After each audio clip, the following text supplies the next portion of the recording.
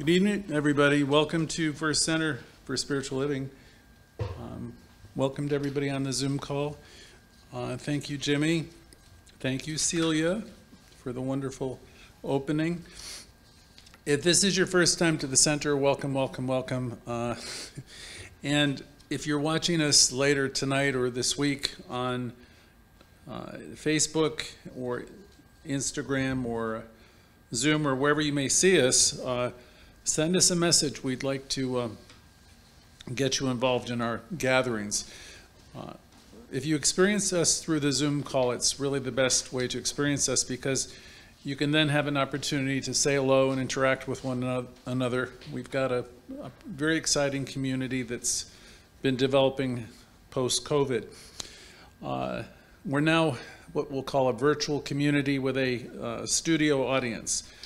And I was told three or four years ago that's the way of it for spiritual centers, that they will be virtual mostly and with uh, gatherings in person too. So we are open in New York City now if you happen to be in New York on Thursdays and on Sunday mornings at 1045. Uh, let me do a little commercial before we start.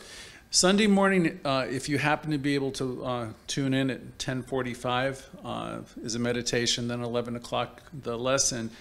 Uh, it's going to be Father's Day, and so we're going to have a talk uh, on uh, uh, th this holiday. So if you'd like to uh, immortalize whoever your father figure was, your dad, grandfather, uncle, whoever it is, uh, please send us his name and give us a little brief statement of a fond memory or how he inspired you. And our our message will be in the chat room, but it's uh, first, excuse me, FC, fcslnyc at gmail.com. So you can email us at the center. Uh, the email address again is fcslnyc at gmail.com. Uh, so that's something nice to do, and, and uh, please send it to us before Sunday morning. You can send it Sunday morning, but it'll it'd be better for us if we get it earlier. Earlier responses will be appreciated.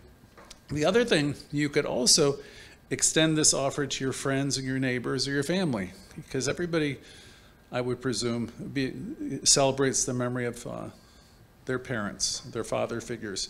So we're going to go into today's lesson, and um, most of the messages in this lesson are around the healing work of Louise Hay and Ernest Holmes. Um, so you can tune in each week for this, right?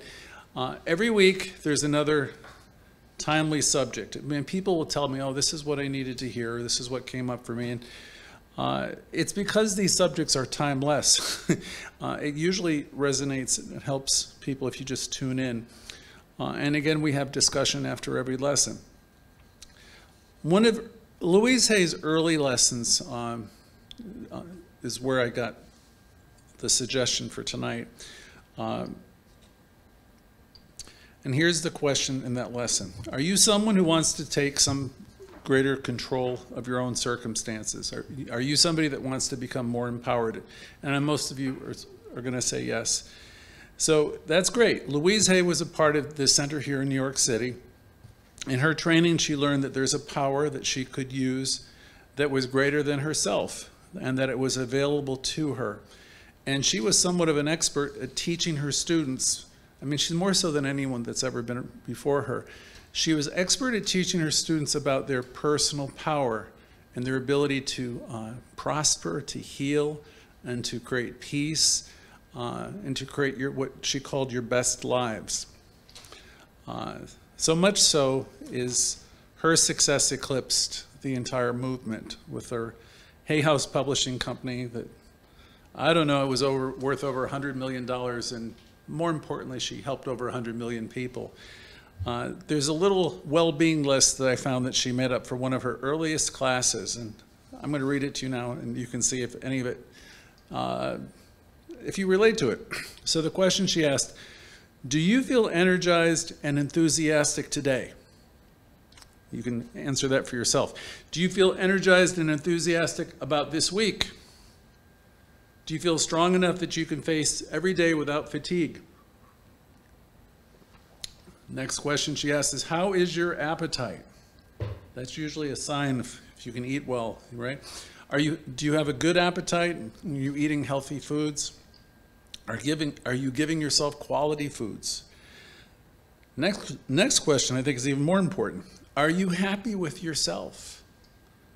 If you look into the mirror, can you say, I love, accept, and approve of you exactly as you are? That's a big question. I've been teaching these classes for over 25 years, and that's a tough one when we start working with the mirror. Can you say to yourself, I love, accept, and approve of you exactly as you are, and mean it? So, that question, are you happy with yourself? And only you know what the answer is. And it's important though, because if you're not happy with yourself, you're definitely in the right place because this is what we do here. We, we help you get there. Uh, what is your inner dialogue like? See, that's probably where I got that question all those years ago. It was in one of her first classes. If you're practicing the lessons and the teaching, now we're talking about the science of mind, we're learning to work with principle. If you're practicing the lessons and the teaching, your consciousness is starting to expand and your self dialogue is increasing in its in, in positivity. Because so much of our stuff is unconscious you know from our family. We've grown up with it. So if you come into this class week by week by week you're going to start to pay attention to that dialogue and you start to um, stop the negative and you begin to turn the dialogue around it's a little bit what we do in spiritual mind treatment which uh, we teach you here so as you're learning to be positive, the question she comes up next. Are you learning to be a lifter? Are you here that are you somebody that really are you positive and you're really always trying to give someone an encouraging word? Because that's really what Louise Hay was to everybody. I mean, she everybody liked listening to her and people still like listening to her. There's dozens of you who every night play her audio before you go to sleep and my experience when I was teaching this material in every type of venue, everybody was listening to her beautiful voice with these life affirming messages. She asked, she will ask next in that very early classes, what is your stress level? Can you just think about it for a little bit? Do you find that you're worrying a lot about things that don't really matter that much? The things that we worry about are oftentimes far worse. um, you know, from a recovery program years ago, fear, they would state, it's spelled F E A R, stands for false evidence appearing real. So people oftentimes have things that keep ruminating in their minds over and over and over again. You just, in a way, can't stop thinking about it. And you're worried about your boss, you're worried about what's going on, you're worried about this, you're worried about that. And, and all of that, of course, is just repeated thoughts and repeated thoughts that, you know, you know you're creative. We teach you here, all thought is creative. So if, if you have a lot of worrying going on, a lot of stress, um, you know, we want to help you stop that process or turn that process around. So just the question is, are you worrying a lot? Uh, Louise said worrying can be a very debilitating thing. And stress can bring forth all kinds of medical problems. So you want to ask yourself an answer, you know, how is your stress level? It's normal to have a little bit of it, right? Uh, but is it too much? So just make note. The question that follows is, are you trusting life? She used to say, are you trusting the process of life to be there for you? And only you will know the answer to that as well because if you're constantly involved in fearful thought, and uh, that shows that you, you really are not engaging your superpowers. And your powers, superpowers, would be the realization, like Ernest Holmes would say, that you have power available for good, greater than you, and you can use it. Now, a lot of people just don't know that they have that ability inherent right inside of you. You have the ability to transform everything. So, are you trusting life? What is your level of faith right now in your own estimation? And it's going to be different for everybody on this call. And if, if you're in a place where you're full of worry right now, you're in the right class because we're going to keep gently suggesting ways for you to, uh, stop that process and have a little bit more faith in. We'll give you lots of techniques so to help you move forward. Um, so this is maybe a time for you to call on what I call your higher powers. And I say that a little bit, um, I'm not suggesting that you call on a supreme being. I'm saying maybe this is a time for you to call on your higher powers. You have a higher power. You have it within you. Today, with all the, you know, the um, superheroes out there, I'm going to say you have super abilities, though you may have forgotten or you may not know that you do. If you're new, you might not realize the power that you possess. Ernest Holmes said there's a bank account downtown, it's got your name on it, and it's got, I'll adjust it for today's dollars, millions and millions of dollars, and it's right there for you. You have limitless everything available to you. But for you to realize that in your day to day living, there needs to be a shift in consciousness where you have an understanding that you are one with the one and that you can draw forth from that bank account um, joy and peace and prosperity and happiness, uh, abiding peace. You know, it's all available to you. So you come here, here to the class and we remind you of all of these things that are available and, and how to how to access them. So there's a power for, within you greater than you that is a part of you and it's endless and always responding to you. So let's remember that. Let's get in touch with that power. Intentionally let's go there and recognize that there is this power. It's within me and i can use it. So that's what i want to remind you of tonight. You have something in you it's a presence that grows and as reverend theo used to say and it shows you have a presence in you that grows and it shows. It reveals itself to you and everyone really the more you understand it, you rely on it. And as you unite as you unite with it, you can heal your life. Everything will become much better if you start to engage these inner powers, these superpowers that really you were born with it. So next Louise stated that doubt and worry are absolute killers. I thought, wow, that's a blunt statement. You know, if you have a lot of doubt and a lot of worry, she used the word killers. You know, so I guess, I mean, we all know we're smart, right? That if you're worrying a, lot and you're full of doubts and fears, that that's going to rob you of your present.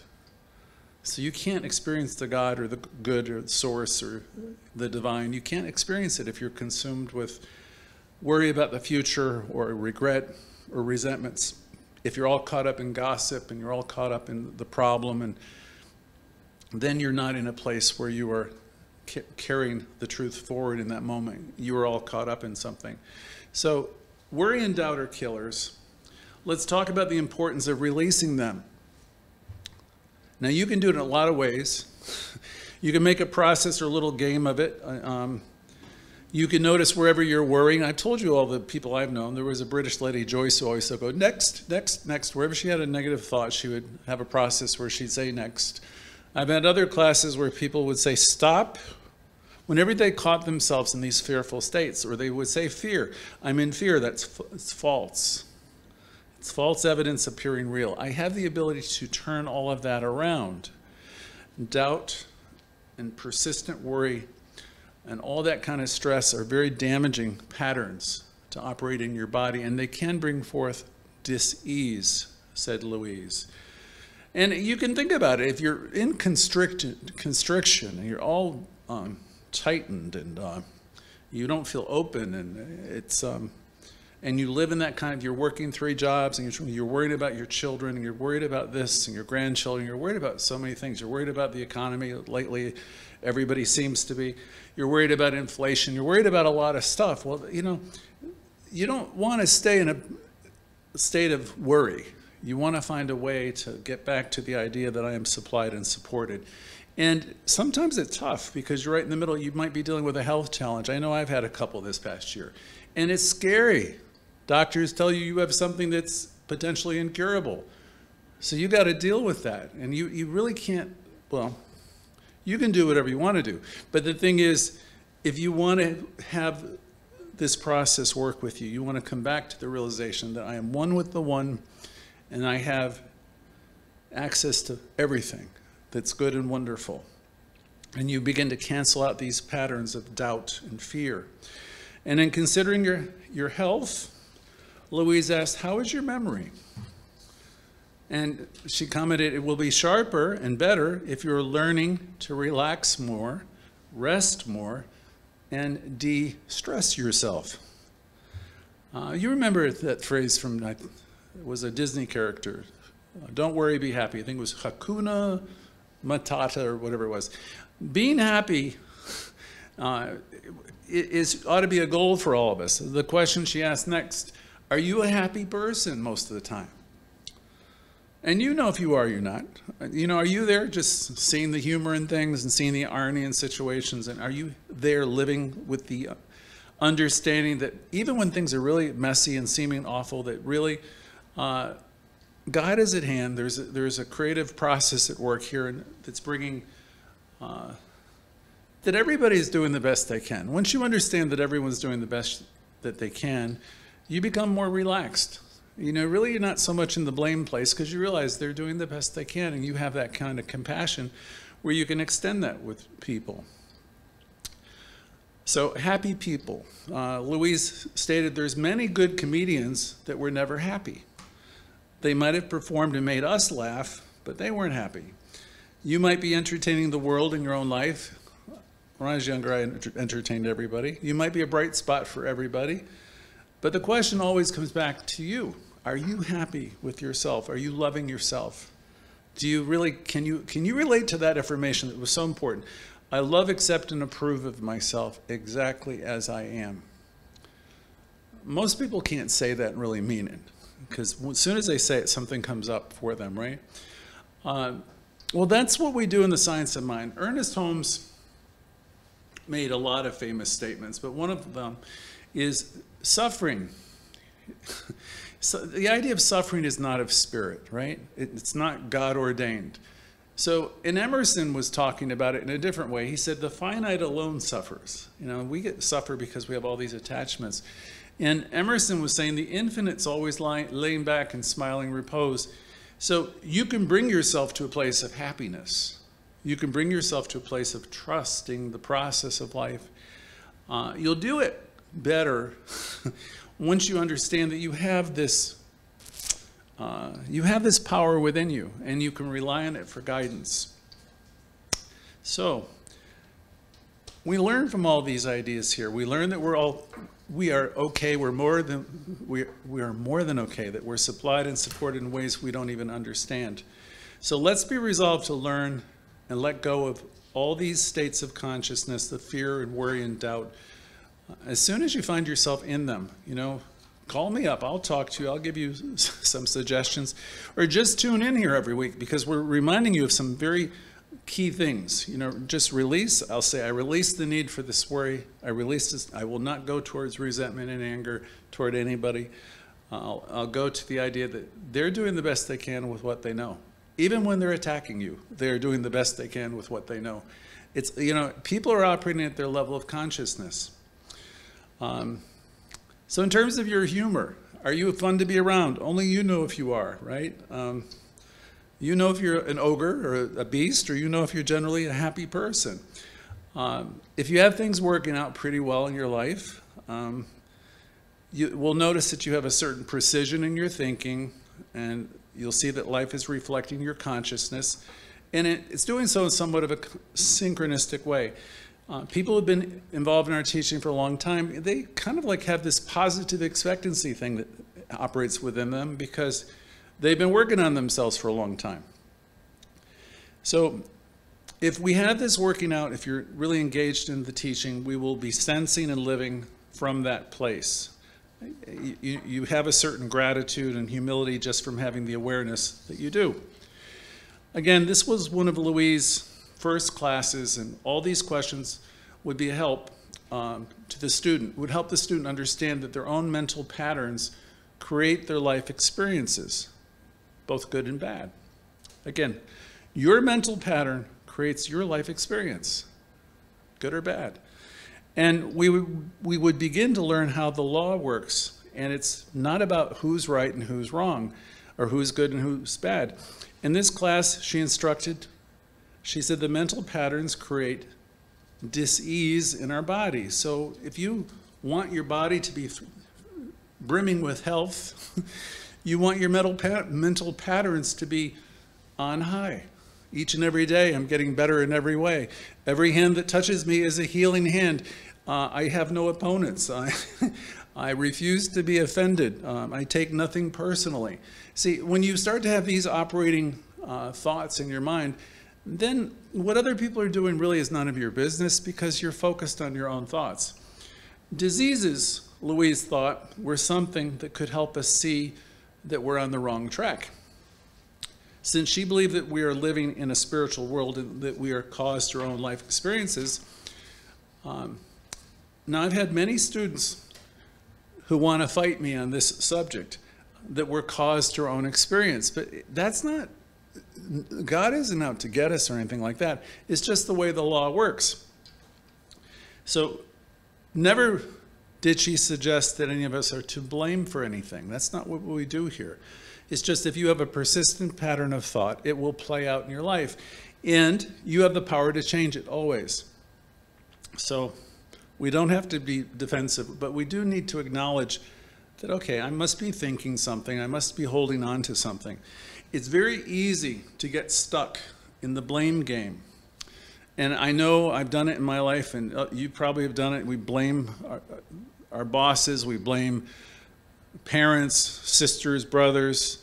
Uh, uh, the list is endless of the people. We, we could blame the economy, blame the current, whoever the president is or senators. It's just easy to blame. It's impossible to move forward when you're making your, old, your life and your circumstances about who has wronged you or you know what the pastor has done, what the president has done, whatever. Well, if you're making your life about other people, it's really hard to move forward. Louise said, um, or if in your life you're comparing yourself to somebody else and you think, "Oh my God, I got a bad hand," you know, this guy over here or whoever she is, they had all the breaks. That's not a healthy way to approach life. Um, each of us are in unique circumstances, and from the American Indians, we don't want to judge anybody because we don't really know what they're going through presently, what they've been through recently. We have no idea, so we don't want to judge. Um, we understand as we come to this teaching more and more that everybody is in is where they are by right of consciousness. And every single one of us is evolving. And we want to have compassion for everybody. Even the people who are harming us, they wouldn't do it if they knew the whole story, you know? So it's just, it's a Christian principle of turning the other cheek. Um, much of what people suffer from is a result of false ideas that they're harboring in consciousness. They got it wrong half the time, and they're acting on false ideas and false beliefs. We must get our faith way up. and get strong because, you know, as you get stronger, there's going to be people out there that'll be nipping at your heels sometimes. So we must get that faith up, faith up in the power of our word, and be dedicated to the work that we have of changing our own thinking. Because as we change our thinking, as we get more whole, we'll be able to help people better. Of course, as a minister, I can give you loads and loads of ways for doing this, but staying plugged in with us every week, as often as you can will help you tremendously. It's like an insurance policy. You're making small installments. But it will pay very big dividends because you just keep being reminded of the truth of who you are and being reminded that it is your thought and your cumulative thoughts that are going on within you that are creating your days, your hours, your, your week. Um, suggestion here for us to increase our faith is start doing some short, powerful affirmations. Uh, and we will lead you toward the process of affirmative prayer where you can, uh, it's a deeper process. But what you want to do to start with is just stop the process of the negative thinking when you find yourself in going in that direction where you're fearful and you're off track. Whenever you forget that you are one with source or one with life, um, complaining won't help you, okay? That's the time to stop whatever that dialogue is and turn it around. Uh, and we want to hear in this class, start to figure out what needs to be released. Every single day and every week, we mindfully notice what comes up for us. And we try not to make it about the other person, okay? Uh, and then we cancel it, we delete it, we replace whatever that negative notion is with a better and bigger idea, one that is true. And as we do this, it signals that uh, it's time for healing. It's time to make ourselves whole. We have a center of wisdom within us. We access it to heal our lives. Once we understand the process, we are able to take conscious control of what we wish to change in our lives. Then you can say to yourself, I have already begun the healing process. That was Louise's exact quote. I have already begun the healing process. And you can start to take control of your life. Uh, once we do this, thing, something shifts within you, and the healing process begins. Your body is a mirror of all your thoughts and beliefs. The body is always in communication with you if you will listen. Every cell responds to every thought you think and every word you speak. Your face reflects back your thoughts. A scowled up face, twisted up face reflects the thoughts you're thinking. Uh, and then she asked, How do you want to look as you get older, as you age? And she said, It's our birthright to be totally happy and totally fulfilled in your life. Well, if you can bring yourself to uh, being more happy, you're going to I, I, guess we could conclude that our looks and our appearance is going to uh, uh, change as well. Uh, and she went into the next part of the lessons. Working with your doctor and working on your thought patterns will accelerate the healing process. Well, nobody could argue with that. Um, we're believers in following. Uh, you know, earlier versions of New Thought would not advocate going to doctors and things like that. But you know, as you come into our teaching, we work with our doctors, we work with healthcare practitioners, um, and all of that. Um, and we work with our thought patterns. And as we do that, our healing will accelerate and become complete. Uh, then she had a little re relaxation piece where she said, Relax and take a deep breath. Let these thoughts wa wash over you. It doesn't matter if you understand these ideas or not. Only the ideas that are right for you will be accepted your subconscious mind will hear and record what you need to hear. Um, so I'm going to fast forward through some of this because this is actually one of her seminars. She went on to say, as children, we learn how to feel about ourselves by the reactions of adults around us.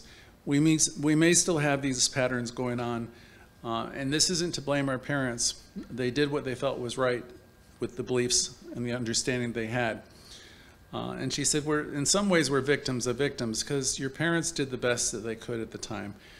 Um, for example, if your mother did not know how to love herself or your father did not know how to be gentle and kind, uh, it would be impossible for them to convey these values to you. So we're remembering our fathers this Sunday, and uh, so again, I already asked you to send us an email if you want, and give us some comments about your dad, um, and invite your friends to do the same. And uh, we're going to, as uh, what's our phrase? We're going to immortalize your dad's or your whoever the father figure by having them included in our presentation on Sunday morning.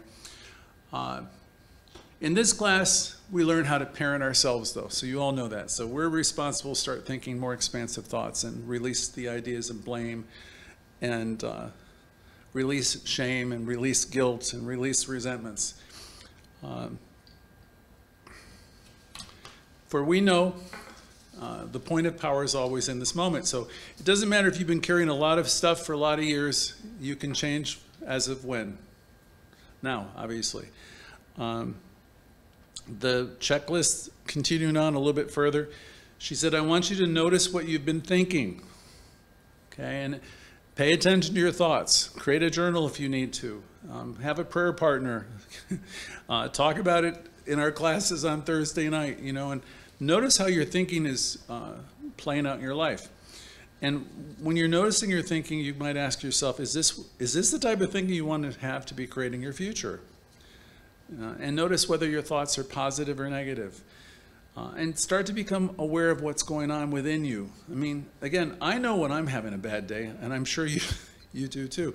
So it's my responsibility always to interrupt that negative process and look for the pony in it. You know what I'm by the pony? I mean look for the good that's happening in this given day, and um, you know you, you'll get to the point where you're going to release the need to be bothered by what people, places, and things are saying, what's or what's happening, because you understand that you were caused your own experience.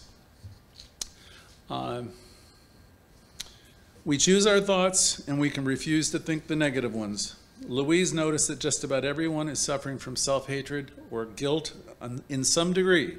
Now, I know some of you are old timers and you don't do a lot of that, but it's in all of us still. um, so let's, let's develop the faith um, to let that go wherever we spot it. The more guilt we have and the more self hate we have, the, lef- the less our life will work well.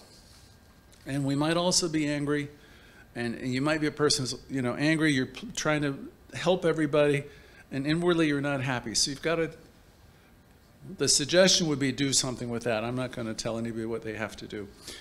Uh, louise hay noticed a bottom line for those people that she worked with. And she said the bottom line for everybody and i've worked with thousands is i don't deserve this or i'm not good enough i don't do enough. And they're very very critical so if you're finding yourself being critical about anything too much, um, that's a place to start doing your work. Um, and you ask yourself, she said, um, if you're saying I don't deserve this, and I, you know, and I, if you're being very critical, she'll say, who are you trying to please? What standards? Where did that come from?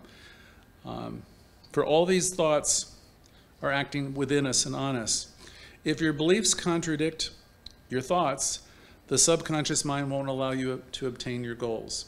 So what she's saying here is if you're, you're speaking affirmations are really positive, like I'm whole and complete, I'm healthy, I'm prosperous, and, and those are great affirmations, but if inside of you you don't feel like you're worthy of good things to happen and you have an inner uh, sense that um, uh, you're not good enough, then uh, you're not going to have the demonstration that you want to have. So in the treatment process, which we teach you, Ernest Holmes will say it's the time, it's the art, the method of ridding that negation, that negativity from within you.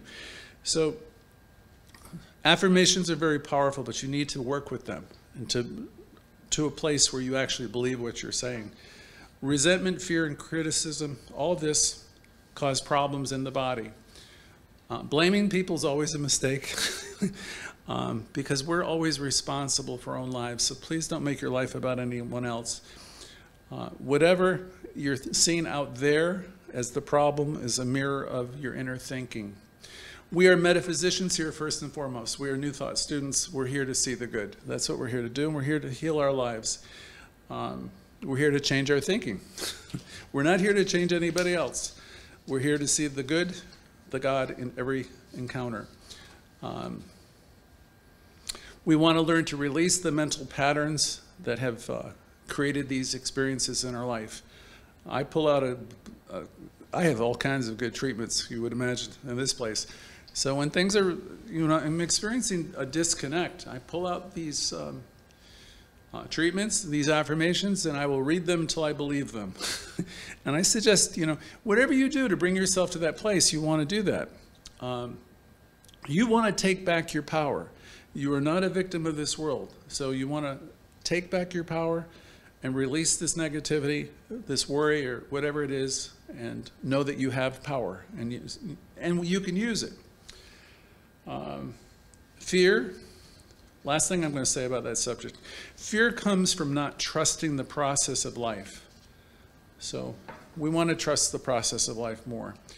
Uh, and that was one of her affirmations I used to love the most. I trust the process of life is taking care of me.